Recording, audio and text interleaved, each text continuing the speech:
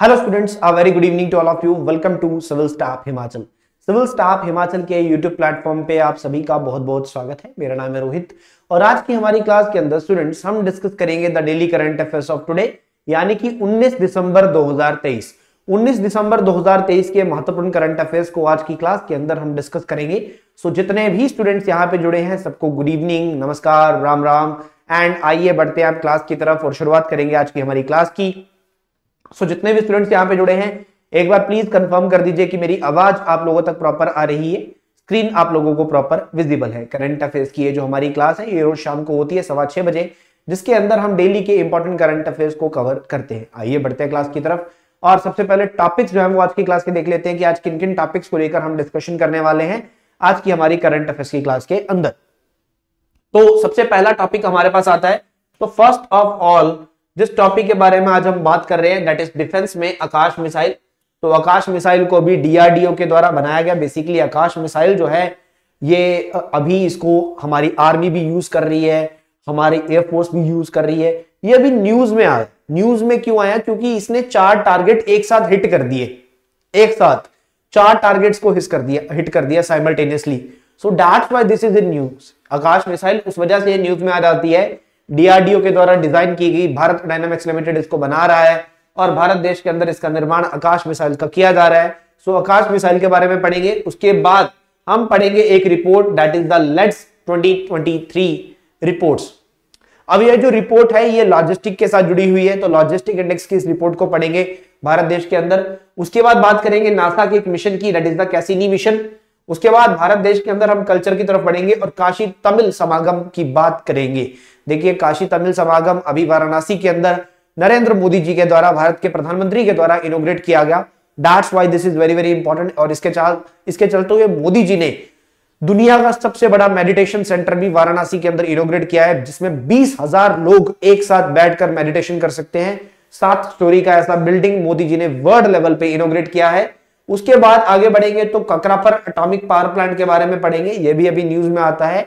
Kakrapar atomic power project उसके बाद हम पिंक बॉल बॉम के बारे में पढ़ेंगे कोटन पे लगने वाला ये जो कीड़ा है कोटन पे होने वाला ये जो रोग है, ये फिर से तेज़ी में है, जिसके चलते हुए कोटन के जो प्राइजेस हैं, वो यहाँ पर आपको दिखाई दे रहे हैं फ्लक्चुएट होते हुए। उसके बाद बात करेंगे यहाँ पर रेट्स एससीओ की मीटिंग की, यानी कि शंघाई कॉर्पोरेशन ऑर्गेनाइजेशन का जो रेट्स यूनिट है, इसकी एक मीटिंग अभी होती है, जिसके चलते हुए हम इसका डिस्कशन करेंगे। उसके बाद भारत का fastest solar electric boat Barracuda. तो बाराकुड़ा के बारे में पढ़ेंगे that is also very very important उसके बाद आगे बढ़ेंगे स्टूडेंट्स और हम गोवा लिबरेशन डे की बात करेंगे। गोवा लिबरेशन डे जो कि नाइनटीन ऑफ़ दिसंबर को ऑब्ज़र्व किया जाता है क्योंकि 19 दिसंबर 1961 को हमने पोर्टुगीज से गोवा को एक्वायर किया था। उसके बाद हम इंटरनेशनल माइग्रेंट डे की बात करेंगे जो कि 18 दिसंबर को होता है और इसके साथ साथ जो माइनॉरिटी राइट्स डे है वो भी 18 दिसंबर को ऑब्ज़र्व किया जाता है। सो so, ये आज की हमारी करंट अफेयर्स की क्लास के टॉपिक्स रहे हैं स्टूडेंट्स अब इन टॉपिक्स को आगे लेके जाके डिटेल में करंट अफेयर्स को हम डिस्कस करेंगे। आइए बढ़ते हैं करंट अफेयर्स की शुरुआत की तरफ़।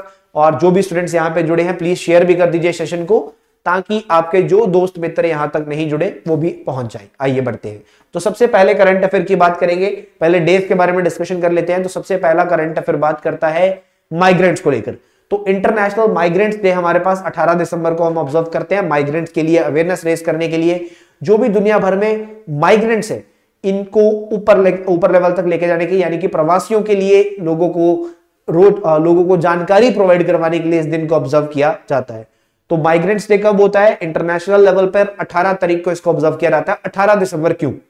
देखिए 18 दिसंबर 1990 में यूनाइटेड नेशन जनरल असेंबली ने एक रेजोल्यूशन अडॉप्ट कर लिया था। That is related to the international convention to the protection of the rights of the all migrant workers in the world and all members of their families यानी कि दुनिया भर में जो माइग्रेंट्स रहते हैं, उनकी जो फैमिलीज़ हैं, उनके राइट्स को लेकर एक कन्वेंशन अडॉप्ट किया गया था इंटरनेशनल कन्वेंशन को अडॉप्ट किया गया था by the United Nation General Assembly कब अडॉप्ट किया गया था? 18 दिसंबर सन 1990 को। और सन 2000 में, यानी कि 10 साल बाद से हमने स्टार्ट करना ऑब्ज़र्व कर दिया था ऑब्ज़र्व करना स्टार्ट कर दिया था International Migrants Day International Migrants Day और इसके साथ साथ मैं आपको बता दूँ कि 2023 में जो इंटरनेशनल माइग्रेंट डे ऑब्ज़र्व किया जा रहा है, इसका थीम क्या रहा?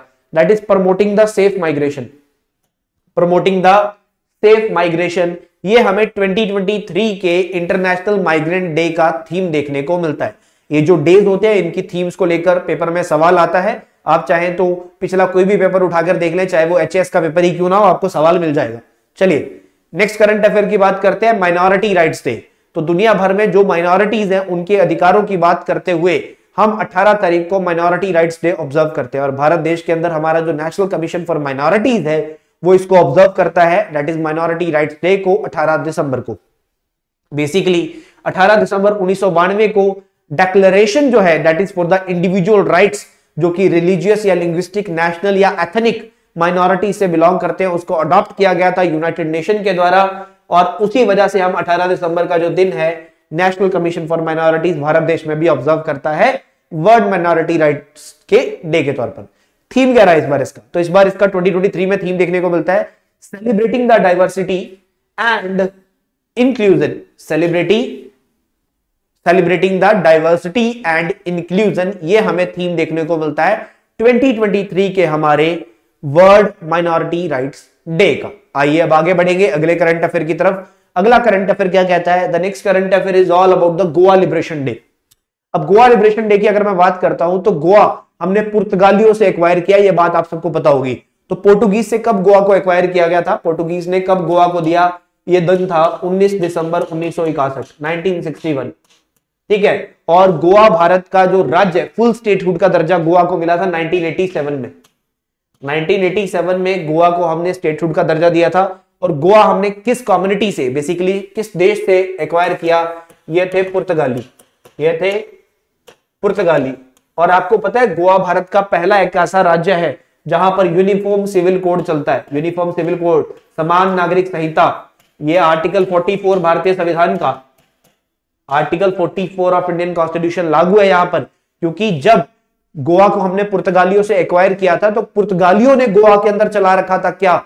यूनिफॉर्म सिविल कोड तो यूनिफॉर्म सिविल कोड तभी से गोवा के अंदर चलता रहे। क्या आप मुझे बताएँगे? बिसाइड द गोवा गोवा को छोड़ दो।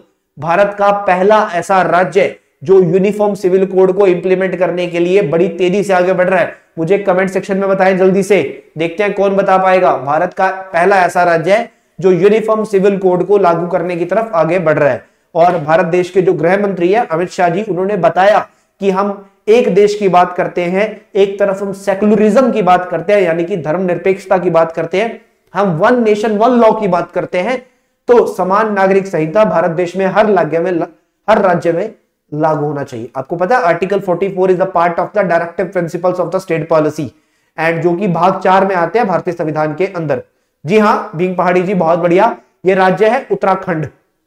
ये राज्य है उत्तराखंड। बहुत बढ़िया। चलिए आगे बढ़ते हैं यहाँ पर। आ, एक चीज़ और मेरे को जो यहाँ पे ध्यान में आ रही है मैं आपको वो भी बता देता हूँ। उत्तराखंड के अंदर उत्तराखंड के अंदर यूनिफॉर्म सिविल कोड को लागू करने के लिए उसको रिव्यू करने के लिए एक कमेटी बैठाई गई थी। उस कमेटी की अध्यक्षता किसने करी थी?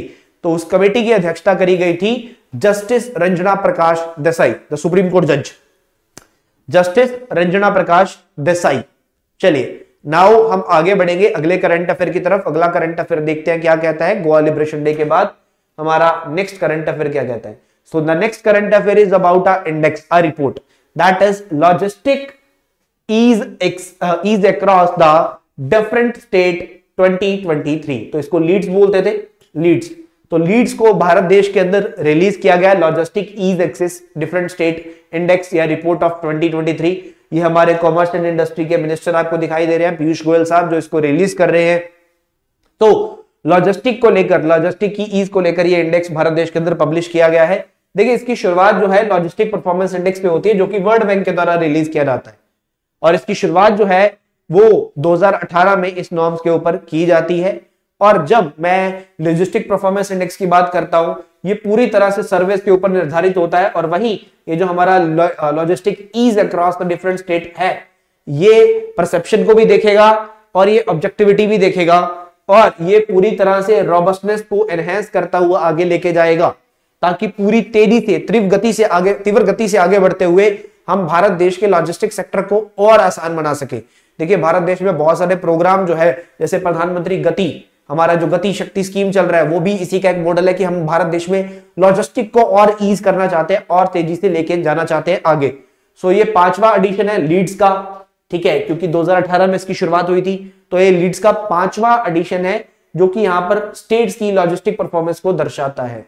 और ये ओवरऑल स्टेक होल्डर्स का परसेप्शन यहाँ पर बताता है कि वे बहुत सारी रिफॉर्म्स जो लॉजिस्टिक के अंदर आती है, बहुत सारे राज्यों में और केंद्र शासित प्रदेश के अंदर ये उसको लेकर अपना डाटा बताता है। अब ये रिपोर्ट जो है लगभग 7300 रिस्पॉन्सेस को कवर करता है पूरे भारत देश में। भारत देश के 36 राज्य और केंद्र शासित प्रदेशों के अंदर। हम सब जानते हैं भारत में 28 राज्य है और आठ केंद्र शासित प्रदेश हैं। उन सब में इसको कवर किया जाता है। अब रैंकिंग आपके सामने आ चुकी है। तो यहाँ पर कौन कौन सी कैटेगरी में बांटा गया है? तो यहाँ पर कोस्टल लैंडलॉक नॉर्थ ईस्ट और यूनियन टेरिटरीज इस एरियाज़ में बांटा गया। और रैंकिंग आती है अचीवर फास्ट मूवर्स और एस्पायर्स ठीक है, इस लेवल पे रैंकिंग यहाँ पर देखने को मिलती है। तो अचीवर्स में कोस्टल एरिया में आंध्र प्रदेश, गुजरात, कर्नाटका, तमिलनाडु लैंड लॉक्ड में हरियाणा, पंजाब, तेलंगाना, उत्तर प्रदेश देखने को मिलता है। नॉर्थ ईस्ट में असम, सिक्किम, त्रिपुरा यूटीज में चंडीगढ़ और दिल्ली। उसी तरह से आगे बढ़ेंगे और इधर बात करते हैं फास्ट मूवर्स में। फास्ट मूवर्स में कोस्टल एरिया में केरला और महाराष्ट्र लैंड लॉक्ड में मध्य प्रदेश, राजस्थान, उत्तराखंड नॉर्थ ईस्ट में अरुणाचल प्रदेश और नागालैंड और यूटीज में Andaman Nicobar island and Lakshadweep and Puducherry. उसी तरह से आगे बढ़ते हुए एस्पायरर्स की बात करता हूँ तो यहाँ आ जाएगा हमारा हिमाचल प्रदेश। कहाँ पर आएगा? लैंड लॉक्ड वाली कैटेगरी में आएगा। ठीक है, कोस्टल में आ गया, गोवा, ओडिशा, वेस्ट बंगाल और यहाँ लैंड लॉक्ड में बिहार, छत्तीसगढ़, हिमाचल प्रदेश और झारखंड। उसके बाद नॉर्थ ईस्ट की बात करता हूँ तो मणिपुर, मेघालय, मिजोरम और यूटीज की बात करता हूँ तो दमन and Diu, Dadra Nagar Haveli, Jammu and Kashmir and Ladakh. So this is the index that is LEADS index clear चलिए आगे बढ़ेंगे स्टूडेंट्स हमारे अगले करंट अफेयर की तरफ़ अगला करंट अफेयर यहाँ पर आ, थोड़ी सी बात यहाँ पर होगी तेईस राज्य जो है इनको स्टेट लॉजिस्टिक पॉलिसी के तहत नोटिफाई किया गया था। सोलह राज्य जो है इनको इंडस्ट्री स्टेटस के तहत नोटिफाई किया गया। और जो लेंथ है नेशनल हाईवेज की उसको 48 परसेंट तक बढ़ा दिया गया है। और डिजिटल रिफॉर्म्स जैसे कि पीएम गति शक्ति और logistic data bank unified logistic interface platform GST ये इंडिया की रैंकिंग को उच्च स्तर पर लेके जाने के लिए सहायता कर रहे हैं। चलिए, आगे बढ़ते हैं स्टूडेंट्स हमारे अगले करंट अफेयर की तरफ़। अगला करंट अफेयर क्या कहता है? आकाश मिसाइल। अब आकाश मिसाइल ने चार टारगेट्स को साइमल्टेनियसली हिट कर दिया। That's why this is the news इस वजह से ये न्यूज़ में आ जाती है आकाश मिसाइल, जिसको डीआरडीओ के द्वारा बनाया गया। Defence research and development organisation के द्वारा बनाया गया। सो so, भारत का ये मिसाइल सिस्टम जो है that is the Akash missile system. तो आकाश एक सरफेस टू एयर मिसाइल है पहली चीज़ तो। आकाश जो है ये surface to air missile system है surface to air missile system है ये आपको ध्यान में रखना है। और इंडिया जो पहला देश बनता है जिसने चार एरियल टारगेट्स को 25 किलोमीटर की रेंज में टेस्ट किया क्योंकि आकाश की जो रेंज है वो 25 किलोमीटर कैटेगरी की है आकाश मिसाइल की जो हमारी फायरिंग रेंज है। सो so, जैसे कि मैंने बताया साढ़े चार किलोमीटर से लेकर 25 किलोमीटर तक का इसका रेंज ऑफ़ ऑपरेशन है। एल्टीट्यूड ऑफ़ ऑपरेशन की बात करें तो 100 मीटर से लेकर 20 किलोमीटर तक। गाइडेंस की बात करें तो कमांड गाइडेंस पे वर्क करता है। Helicopter fighter aircraft unmanned aerial vehicle सबको ये टारगेट कर सकता है। ये हमारा that is the Akash missile system Akash missile system हमारी फोर्सेस के पास है, इंडियन आर्मी भी 2015 से इसको यूज़ कर रही है। ये एक short range surface to air missile system है और ये बहुत सारे बेसिकली मल्टीपल टारगेट्स को एक ही बार में हिट कर सकता है। सबसे बड़ी उपलब्धि ये है कि ये मेड इन इंडिया इसको हमने खुद बनाया। इसके अंदर एक इलेक्ट्रॉनिक काउंटर मेजर्स फीचर्स लगा हुआ है और इसका पूरा का पूरा हमने मोबाइल प्लेटफॉर्म्स के चलते हुए इसको कॉन्फ़िगर किया हुआ है। आकाश वेपन सिस्टम पूरी तरह से खुद बनाया, हमने डीआरडीओ के द्वारा बनाया गया है। भारत देश के अंदर भारत देश के अंदर। क्लियर हुआ? आइए अगले करंट अफेयर की बात करेंगे अगला करंट अफेयर देखते हैं क्या कहता है।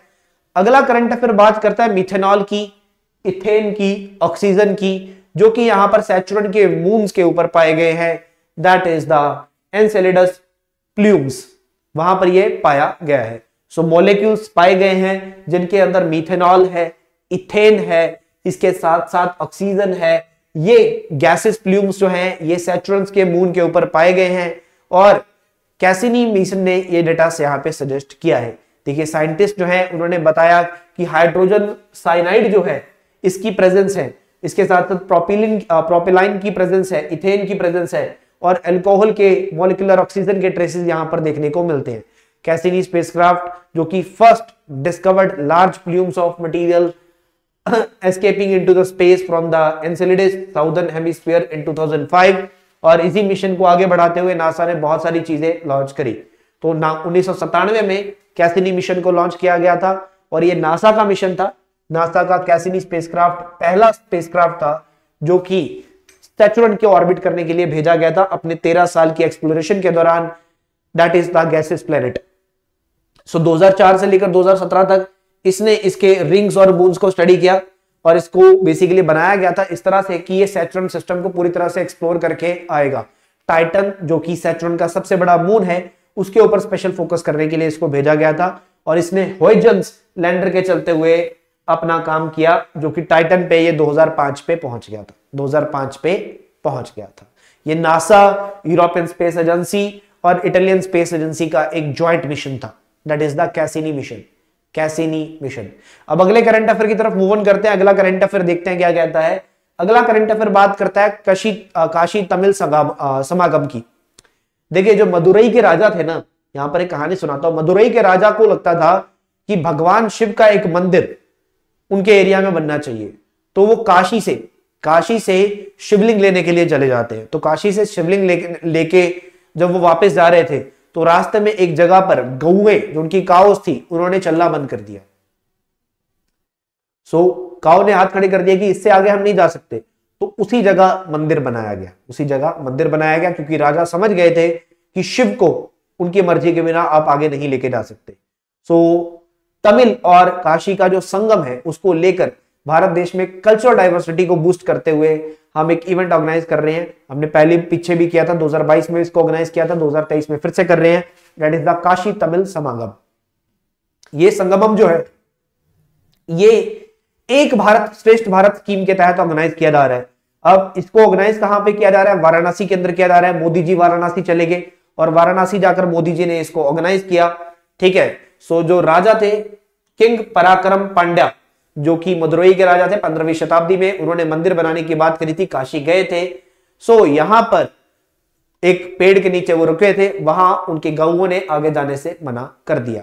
अब इसके लिए ये जो हमारा काशी तमिल संगमम है मिनिस्ट्री ऑफ़ एजुकेशन हमारा ministry of culture ministry of textile ministry of railway ministry of tourism ये सब मिलकर काम कर रहे हैं इसको ऑर्गेनाइज करने के लिए under the Ek Bharat Shreshtha Bharat. But the most important thing is that कि मोदी जी ने वाराणसी गए हुए, वहाँ पर दुनिया का सबसे बड़ा मेडिटेशन सेंटर जो है, उसका इनोग्रेशन कर दिया। This is the world biggest largest meditation centre that is Swarved Mahamandir Swarved Mahamandir ये जो स्वारदेव महामंदिर आप चित्र में देख पा रहे हो, यहाँ पर बीस हज़ार लोग एक साथ बैठकर मेडिटेशन कर सकते हैं योगा कर सकते हैं। इसके साथ साथ सेवन स्टोरी इसको बनाया गया सेवन स्टोरी इसको बनाया गया है। स्वारवेद महामंदिर स्वारवेद महामंदिर, इसका इनोग्रेशन भी नरेंद्र मोदी जी के द्वारा किया गया, जब मोदी जी वाराणसी गए थे आफ्टर द काशी तमिल समागम। क्लियर काशी तमिल के संगम की बाद इसको भी ऑर्गेनाइज किया गया। चलिए, आगे बढ़ते हैं यहाँ पर, अगले करंट अफेयर की तरफ़। अगला करंट अफेयर कहता है, ककरा पर चार न्यूक्लियर रिएक्टर जो है, ये आगे बढ़ता हुआ दिखाई दे रहा है। सो यहाँ पर ककरा पर चार न्यूक्लियर रिएक्टर की, अगर मैं बात करता हूँ, ककरा पर एटॉमिक पावर प्रोजेक्ट का चौथा यूनिट जो है that is in Gujarat 700 megawatt की कैपेसिटी के साथ इसने कंट्रोल्ड फिजन को स्टार्ट कर दिया है। सो ये बहुत ज़्यादा क्रिटिकल बन चुका है। ठीक है so control fission chain reaction यहाँ पर होती है क्रिटिकल बन चुका है। ककरा पर जो है सूरत से 80 किलोमीटर की दूरी पर सिक्स है, स्थित है, और ये जो रिएक्टर है, पहला critically first critically uncertain ascertain देखा गया है। सो ऑल दी कंडीशन जो कि एटॉमिक एनर्जी रेगुलेटरी बोर्ड की थी वो इससे सेट आउट हो चुका है इंडिया का न्यूक्लियर एनर्जी का बॉडी सो so, इसके बाद ये जो 700 मेगावाट का यूनिट है ये largest indigenous nuclear power reactors का है. सो so, ये nuclear power corporation of India limited के द्वारा बनाया जा रहा है और ये जो रिएक्टर्स है ये हैवी वाटर रिएक्टर को प्रेशराइज करते हैं और जिसके चलते हुए नेचुरल यूरेनियम को फ्यूल के तौर पर इस्तेमाल किया जाता है और हैवी वाटर को कूलेंट के तौर पर इस्तेमाल किया जाता है और मॉडरेटर के तौर पर इस्तेमाल किया जाता है। ककरा पर एटॉमिक पावर स्टेशन जो है, यहाँ पर दो ऑपरेटिंग ऑलरेडी दो ऑपरेटिंग हमारे जो है पावर प्लांट चल रहे हैं, जिसकी 200 220 मेगावाट की कैपेसिटी है और 700 मेगावाट का ये यूनिट थ्री जो है, ये कमर्शियल इलेक्ट्रिसिटी 30 अगस्त से जनरेट कर रहा है। 30 अगस्त से जनरेट कर रहा है। और यहाँ पर अगर मैं बात करता हूँ सो ये जो एनपीसीआईएल है एक पब्लिक सेक्टर अंडरटेकिंग है डिपार्टमेंट ऑफ़ एटॉमिक एनर्जी के अंदर। सो तेईस न्यूक्लियर इलेक्ट्रिसिटी रिएक्टर ये ऑलरेडी चला रहा है। 7480 मेगावाट के। क्लियर चलिए, आगे बढ़ते हैं यहाँ पर। हमारे टारगेट के साथ अगली बात करेंगे कॉटन की। तो कॉटन में पिंक वॉर्म्स की बात यहाँ पर हम करते हैं। तो पिंक बॉल वॉर्म्स जो है तो कॉटन जो है ड्रॉप होती हुई दिखाई देगी क्योंकि यहाँ पर पिंक बॉल वॉर्म दिखाई दे रहा है। तो कॉटन के जो प्राइसेस हैं, कॉटन कैंडी के द्वारा रिप्रेजेंट किए जा रहे हैं। यहाँ पर डिक्लाइन दिखाई दे रहा है क्योंकि यहाँ पर पिंक बॉल वॉर्म जो है, कॉटन क्रॉप में तेज़ी से बढ़ती हुई दिखाई दे रही है। हमारा जो central insecticide board and registration committee है, जो कि यहाँ पर एप्लीकेशन को लेकर वर्क करता है इंसेक्टिसाइड्स को लेकर, इसने 50 insecticide formulation for the control of pink bollworm को लेकर अप्रूवल दे दिया है, और ये ministry of agriculture and farmers welfare के तहत वर्क करता है। क्लियर अब पिंक बॉलवर्म की बात करेंगे, इसका साइंटिफिक नेम क्या है? पैक्टिनोफोरा गॉसिपेला ठीक है, भारत देश में ओरिजिनली पाई जाती है, और ये all the cotton growing countries में अब पहुँच चुकी है। Pink bollworm most destructive pest है कॉटन क्रॉप के लिए कॉटन क्रॉप के लिए। क्लियर सो so, ये क्या करते हैं? इसके जो बेसिकली फीमेल्स होती हैं ये कॉटन बॉल्स के ऊपर अपने एग छोड़ देती हैं और उसके बाद जब ये अंडा टूटता है सो so, लार्वे जो है ये सीड्स को खा जाते हैं और फाइबर जो होता है कॉटन का उसको डैमेज कर दिया जाता है। और भारत देश के कुछ हिस्सों में पिंक बॉलवॉम जो है ये first generation transgenic BT cotton को भी रेजिस्टेंट है, जो कि यहाँ पर सिंगल बीटी जीन के द्वारा रेजिस्टेंट है। चलिए, अगला सवाल, अगला current affair Shanghai corporation organisation के मेंबर्स ने मिलकर भारत ने दो एंटी टेररिज्म मीटिंग्स ऑर्गेनाइज करी है। दो एंटी टेररिज्म मीटिंग्स यानी कि रैट्स के साथ मिलकर। रैट्स के साथ मिलकर इंडिया का नेशनल सिक्योरिटी काउंसिल सेक्रेटेरिएट जो है, इसने रीजनल एंटी टेररिस्ट स्ट्रक्चर जो है, संघई कॉर्पोरेशन ऑर्गेनाइजेशन का, इसके साथ मिलकर दो मीटिंग्स ऑर्गेनाइज करी। अब मैं, हमारा जो regional anti terrorist structure unit है, अगर इसकी बात करता हूँ तो इसकी स्थापना ये शंघई कॉर्पोरेशन ऑर्गेनाइजेशन के तहत हुई थी। शंघई कॉर्पोरेशन ऑर्गेनाइजेशन के तहत एक परमानेंट बॉडी है, जिसका हेडक्वार्टर ताशकेंत उज्बेकिस्तान के अंदर है। और ये कॉपरेशन को प्रमोट करने का काम करती है टेररिज्म सेपरेटिज्म और एक्सट्रीमिज्म के अगेंस्ट इसके साथ शंघई कॉर्पोरेशन ऑर्गेनाइजेशन की स्थापना उन्नीस में होती है शंघई फाइव के नाम के। चाइना, कजाकिस्तान, किर्गिस्तान, रशिया और तजिकिस्तान। उसके बाद उज्बेकिस्तान एंटर करता है। उसके बाद भारत और पाकिस्तान इसमें एंटर करते हैं। सो टोटल आठ कंट्रीज़ आपको देखने को मिलते हैं। और प्राइमरी ऑब्जेक्टिव इसका क्या था? शंघाई कॉर्पोरेशन ऑर्गेनाइजेशन का।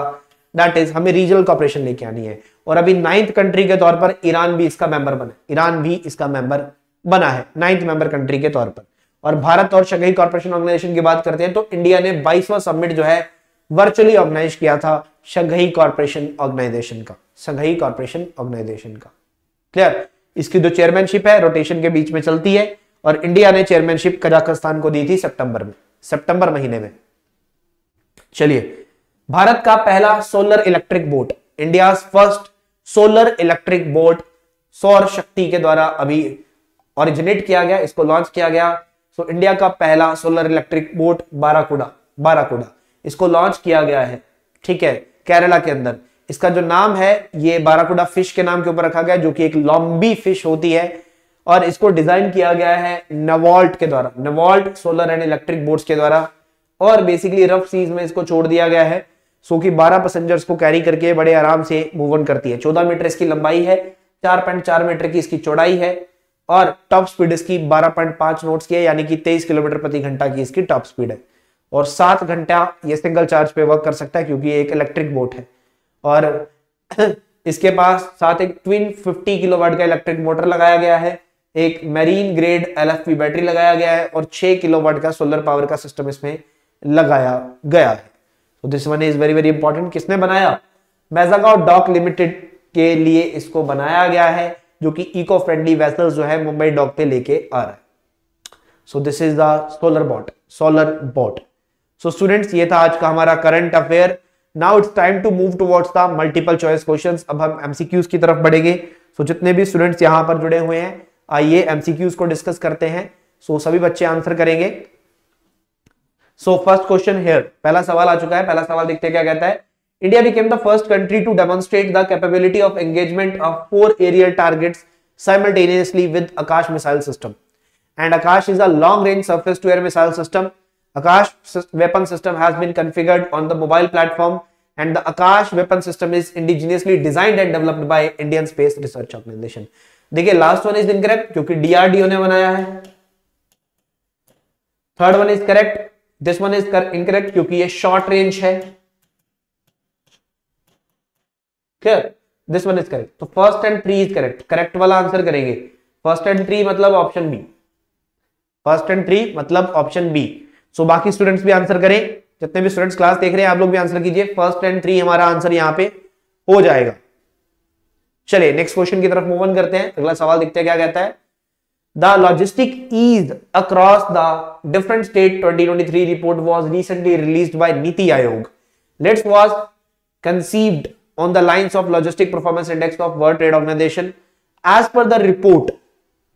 The 23 states UTs have been also notified their state logistic policies to align with the national logistic policy daman and diu dadra and nagar haveli is an achiever under the union territory category हाँ जी तो बताएँगे देखिए ये Aspire की category में था अगर आपने ध्यान से देखा होता तो ये एस्पायर की कैटेगरी में था ठीक है third one is correct this one is incorrect because ये वर्ड वर्ल्ड बैंक का था ये इंडेक्स वर्ल्ड बैंक रिलीज़ करता उसके बाद पहला स्टेटमेंट ये नीति आयोग ने रिलीज़ नहीं किया।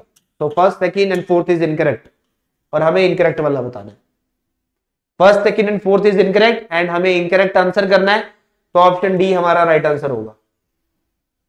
ऑप्शन डी हमारा राइट right आंसर होगा। अगले सवाल की तरफ़ बढ़ते हैं। अगला सवाल देखते हैं क्या कहता है। Cassini mission data has reported presence of hydrocarbons on the Enceladus, the Jupiter's moon. Saturn की बात नहीं कर रहे थे. The first edition of the Kashi Tamil, Kashi Tamil Samagam was inaugurated at Namaghat, Varanasi recently. First edition, second edition नहीं है.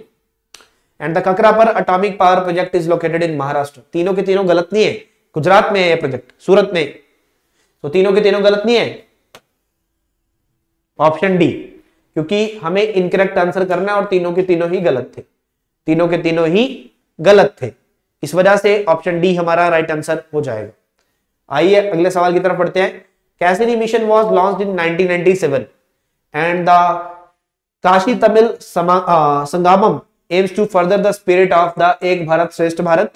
All four unit of Kakrapar atomic power station capacity of नहीं, पहले दो की तो 220 मेगावाट किया ना हमने पढ़ा। तो first and second is correct first and second is correct क्योंकि पहले दो यूनिट की 220 मेगावाट की कैपेसिटी है। So first and second is correct option A हमारा आंसर हो जाएगा। आइए अगला सवाल। The Cassini mission was a joint endeavour of the NASA ESA और Italian space agency not ISRO and ministry of home affair is the nodal ministry ना clear उसके बाद आगे बात करेंगे। The pressurised heavy water reactors are use natural uranium as a fuel and heavy water as a coolant and moderator. This one is correct. Correct बताएँगे, सिर्फ़ तीसरा correct है ऑप्शन सी राइट आंसर हो जाएगा। ऑप्शन सी राइट आंसर हो जाएगा। Clear हुआ? चलिए, अगले सवाल की तरफ़ बढ़ते हैं। अगला सवाल देखते हैं क्या कहता है। Next question the pink bollworm originally native to Egypt originally native to India it is now recorded in nearly all the cotton growing countries India से। Pink boll bollworm is now resistant to first generation transgenic BT cotton. So second is correct. Second one is correct so आप देख सकते हैं हमारा option कौन सा correct होगा? Option B option B हमारा करेक्ट होगा. आइए अगला सवाल देखते हैं. The regional anti terrorist structure of the Shanghai corporation organisation is headquartered at Tashkent Uzbekistan में पड़ता है ना कि तुर्कमेनिस्तान में पड़ता है. The primary objective of the Shanghai Cooperation Organization is to foster the regional cooperation on the diverse matter, security, economics, cultural exchanges. And India joined the Shanghai Cooperation Organization in 2015 and India for the first time held the 22nd summit of the Shanghai Cooperation Organization virtually.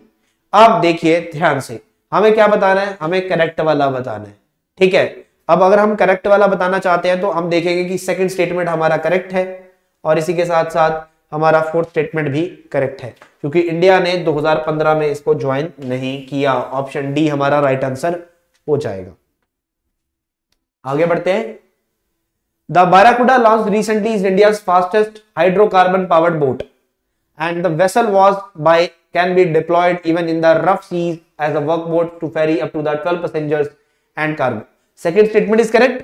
Hydrocarbon की बात हो रही है but ये electric boat है solar powered boat तो option B is correct option B is correct चलिए, आगे बढ़ेंगे। अगला सवाल, गोवा कब हमने पोर्टुगीज से लिबरेट किया था? 19 दिसंबर कौन सा डेट था? कौन सा ईयर था ये?